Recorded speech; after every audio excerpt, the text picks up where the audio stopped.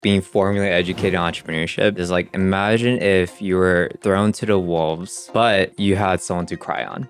It's one of those things where, you know, opportunity meets skill. I showed the PowerPoint to the right person, and 11 months in, they're like, hey, YJ, we love for you to help lead several initiatives. And I've been with the Dell for Startups team for the past four or five years now. I'm sure Michael is very passionate about startups, being a startup 40 years ago himself. Tactically, we are working with multiple community leaders all across the US and really aligning with them to figure out how we can support them with all the things that we have to offer. It's all about building connected community. Community is really the answer to a lot of problems that and not only startups, but you know everyone in our life is having. Dell's mission is to create technologies that enable human progress. It's going to be great to watch you help Dell for Startups grow and the impact that you're going to have on those communities.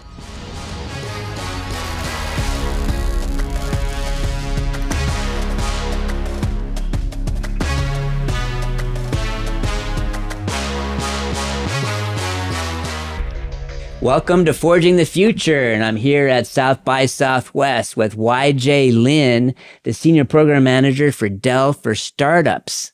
YJ, thanks for being on the show. Thanks for having me. So, what what is Dell for Startups? What are you trying to do with this program? Yeah. You know why this year is a special year for us is because mm-hmm. we're hitting our 40th anniversary when Michael Dell first started his company in 1984 and there's been versions of different startup initiatives over time, but I would say we just want to be there as a support and kind of similar to Michael Dell's journey when at his time he realized that no computer technology company at this time was creating custom solutions for people. And so we are working with multiple community leaders all across the US. Of course, our very first partners at the Cannon in Houston and really aligning with them to figure out how we can support them with all the things that we have to offer. I'm sure Michael is very passionate about startups, being a startup 40 years ago himself. I find it interesting and somewhat maybe coincidental, but you know, the Cannon located right there, where it's located is right where Michael Dell grew up.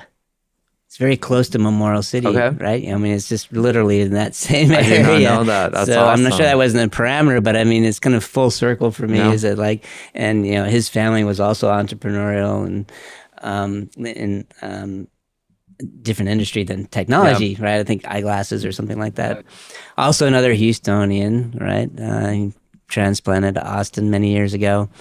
I'm a naturalized Houstonian because okay. I've been there 40 years now, right? So I think I still have the, I do still have my first pair of cowboy boots. I think it's my first and only pair. I bought them in 1981. So we're here in Austin today, but you actually grew up in Houston, is that right?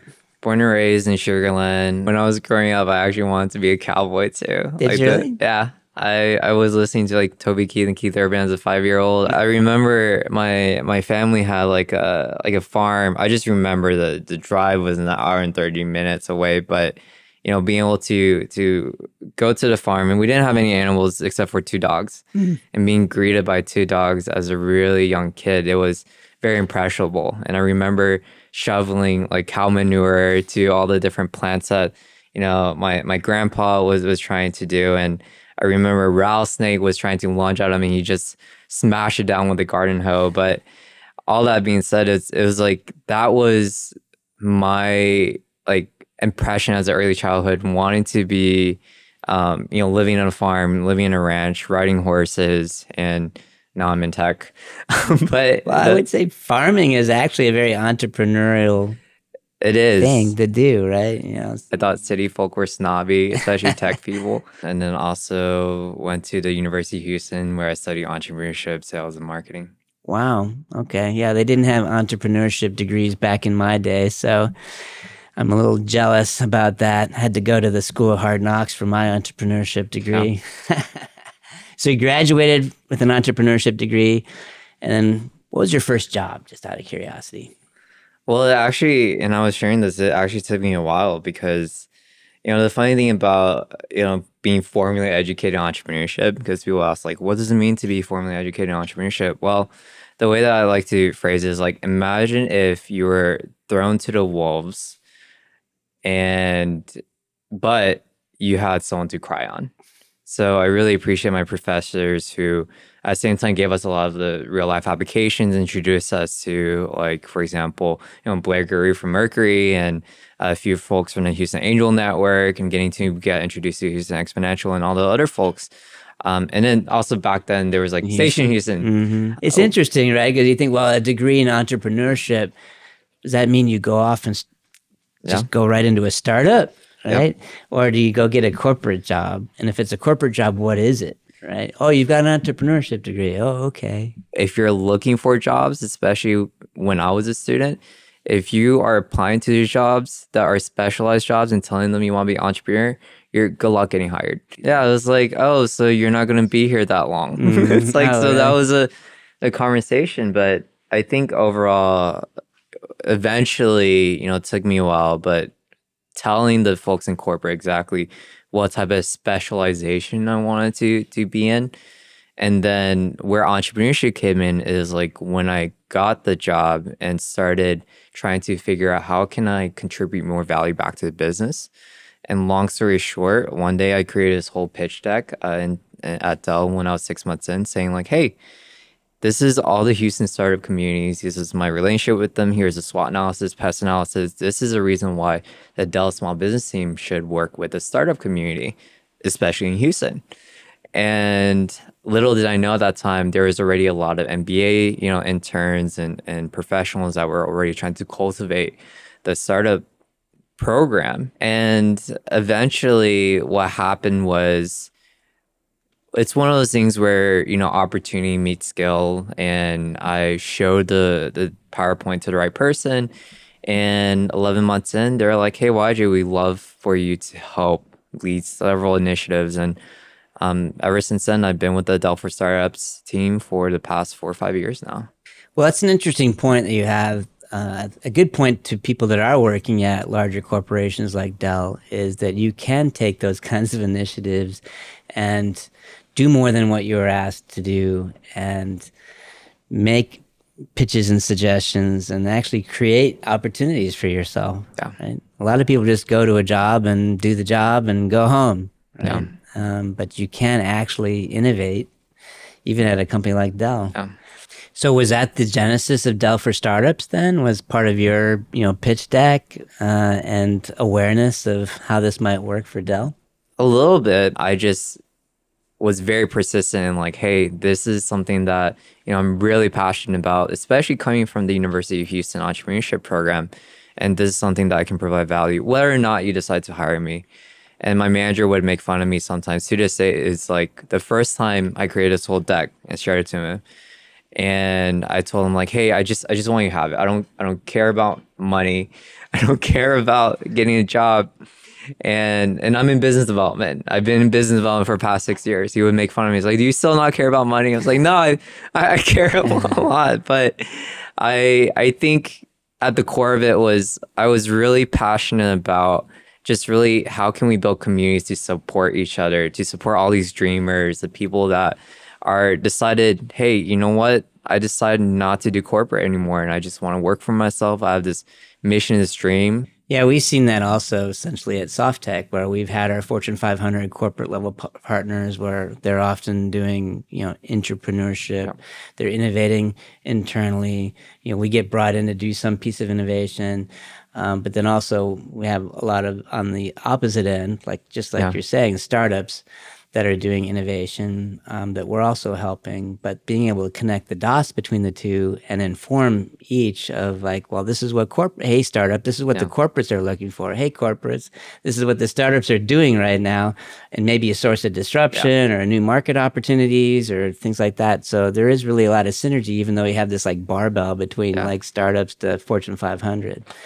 And then you know, there's a lot of people in corporate they they enjoy listening to an entrepreneur because they're able to do things without creating hundreds of PowerPoint decks and mm-hmm. and really trying to see like, hey, if, if there's anything that we can do, it also keeps our, our mind fresh, right? Okay, this is how startups are tackling problems and and learning how startups are necessarily like you know adjusting to to how innovation is moving at almost like a daily basis at this point allows us to also rethink like is there other business processes within our own corporation that we can help change and improve so it's part of a feedback loop for Dell, right? You're getting involved in the community, you're hearing what startups are working on, you're starting to see trends and and what what what they're interested yeah. in and trying to feed back into the, the bigger corporate yeah. mothership. The beauty of this is that when you bring startups and corporations together, you're bringing these generalists and you're bringing these specialists and you're bringing problems that both people have and they're great fit for each other. And so it just benefits both of us when we can learn that, hey, the beauty of startups is that they're constantly testing things, trying things, working so cross functionally. And the beauty of corporate is that if you want someone with 20 and 30 years of experience in engineering, you have someone there. Mm. Yeah, I think it is, like you said, different mindsets. And someone even coming from a corporate world that's now starting in the startups and say, wait a minute, I have to do a lot of that myself for one thing. I don't have a team that I can delegate yeah. to. Also, I shouldn't build it in a way that a Dell would build it because you need to be very lightweight.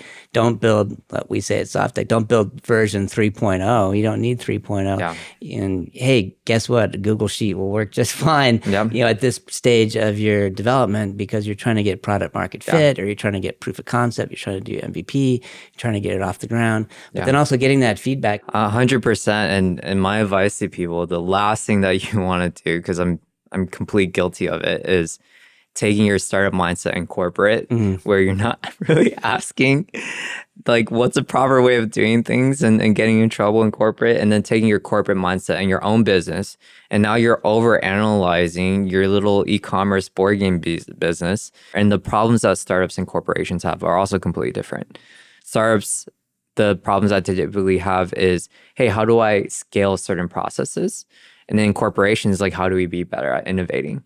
And they're completely reversed. But at a certain time, when a startup starts growing and scaling their processes, they start realizing, hey, I need more innovation to me. One of the things now that everyone, you know, has to be very conscious of, especially a lot of VCs we talk to, is like, hey, what is that technology roadmap from a cost perspective that we need to consider for our stars as they're growing, scaling their company. Because the last thing you want to do is spend $27 million on server fees, which I think that's what Netflix did for a little bit before they decided to to figure out how to get their own on-prem solutions. Mm. And that's that's really my advice for any corporate, you know, professional because and you know this is it's the the beauty of having and I was sharing this with someone. The hiring practices of stars and corporates are completely different.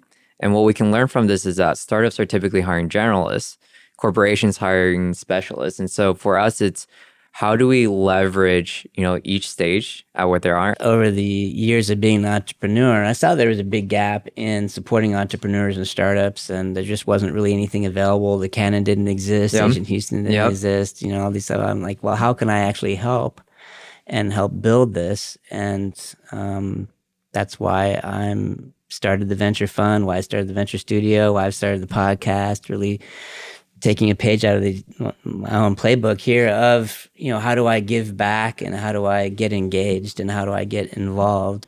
So do you mentor startups yourself? Do you get a chance yeah. to actually do that? I think my favorite startups to to mentor and really the only conversations I, I have with people is it's all about building connected communities. And one thing that I share with startups and even corporations and, and also nonprofits is how do we leverage communities in a way that allows for you to generate a positive return on investment in the first three months, knowing that community is also there as a long term goal to build the types of people that will love your product or your service.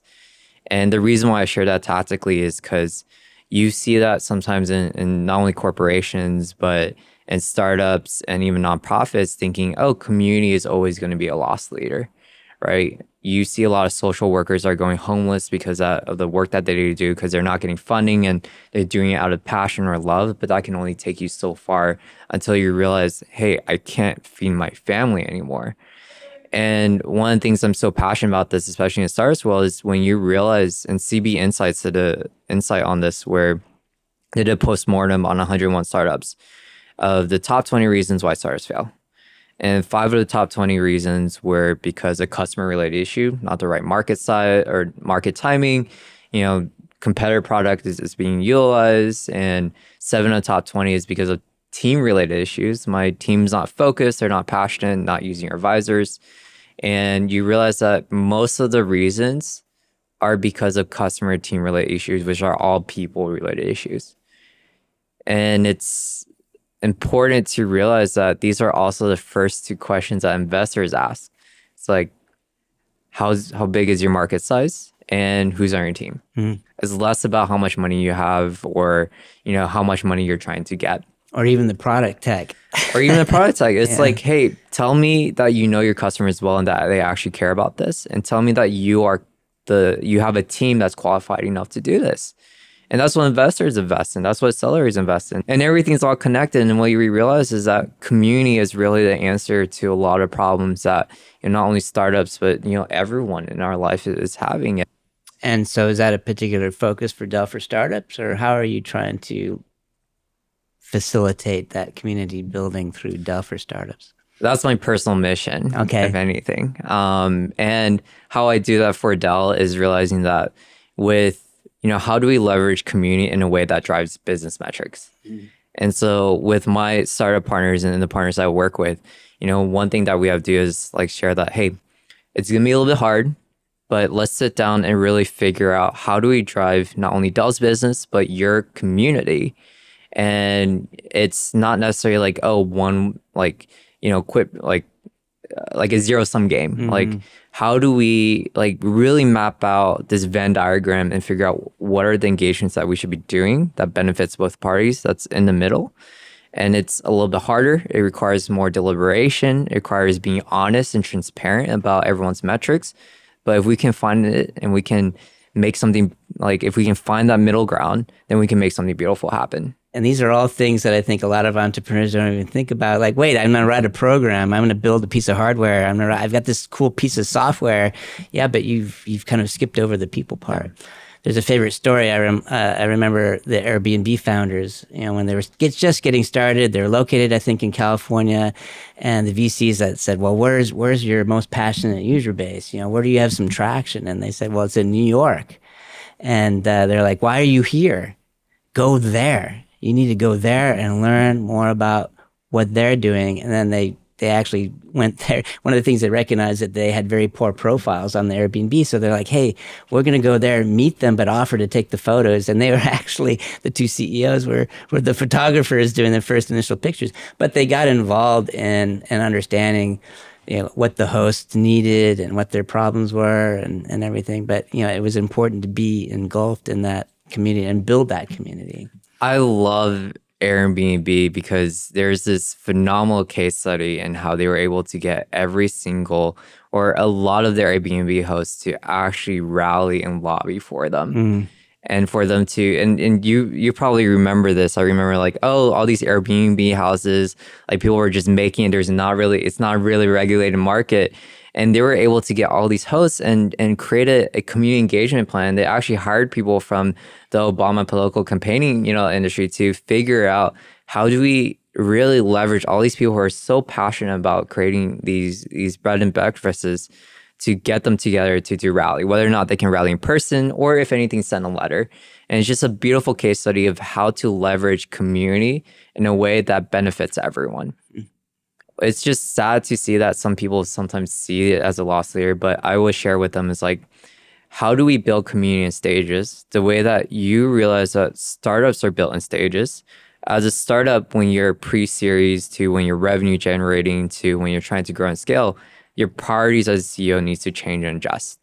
And the reason why CEOs get kicked out is because the VCs realize that hey, you as a CEO, when you're when you're early stage, you're focused on product do not realize that you now need to focus on scaling your revenue growth. And so if you apply the same cycle, the life cycle of a startup to community building, you'll realize that the first 50 people in your community are actually only people who like you. Mm. And what do you what are your priorities when you're trying to build community? Is having as many one-on-one relationships and conversations as possible. And as your community starts growing, you'll realize that it's less about you is now about the relationships and the value and the foundation that you're building and the relationships are being cultivated on top of this foundation. And in fact your closest friends and family may actually drop from it because they realize, okay, it's, it's less about Chris, it's less about YJ, it's more about like the thing that he built, and now we can focus on how do we resolve conflicts, how do we do that, and and you realize that community, your first fifty investors, employees, and and friends are always because they like you. And you realize how important this is to be deliberative, and intentional as you grow and scale to the point where, okay, now I'm at a stage where creating subgroups makes sense. And to share on top of the whole life cycle thing is like, how do we make sure that it's generating business impact? Because we can, can, evaluate all these community health metrics, okay, engagement, uh, attendance, you know, how well is staff engaging with it. But if it's not generating business impact, as you both, you know, as we both know, then it's not going to be sustainable. Whether you're a church, whether you are a nonprofit, you know, understanding is that if it's not financial capital, then what social capital are you generating? You know, are we generating more knowledge from it? You know, are we generating like more culture from it? Are people more happier because they're here?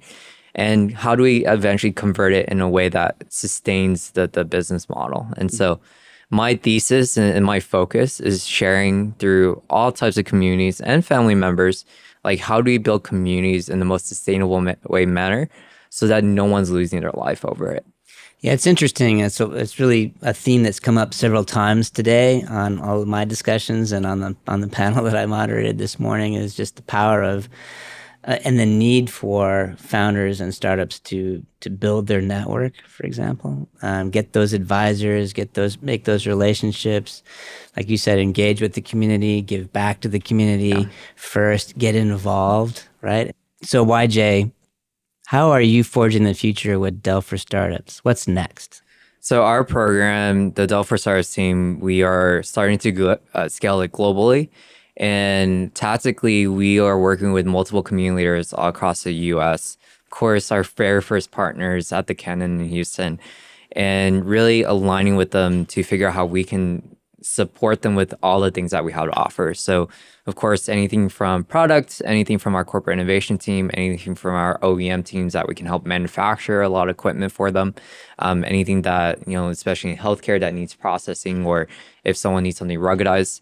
But we also have a Delta Capital team. We, and most importantly, we also have our Dell Women's Entrepreneur Network, which is a global program to support women entrepreneurs in their journeys. Mm. So your first real partner in Dell for Startups was in Houston? Yes. And I was that intentional?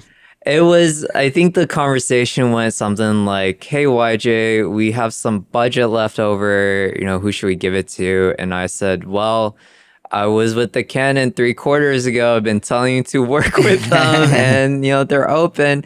We could have been there because I was there when you know with I think Megan Berg at the time wearing a hard hat, and Brad True was there, mm-hmm. and just like, hey, we could be literally the first people. But you know, if you want to partner with the Cannons, right here, and and that was one of our very first partners. Okay, and you're looking to expand that not just in in the US, but globally? Is that what you globally. said? Globally. So mm-hmm. right now we just started to engage with the Canadian market, starting with Toronto because we have the Dell office there.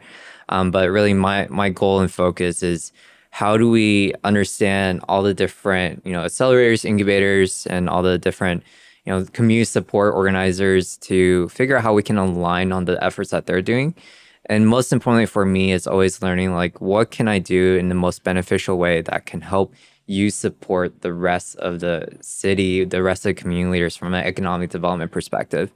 And something I share with my partners, I want to know that I can provide you value other than just sponsoring the things that you're doing.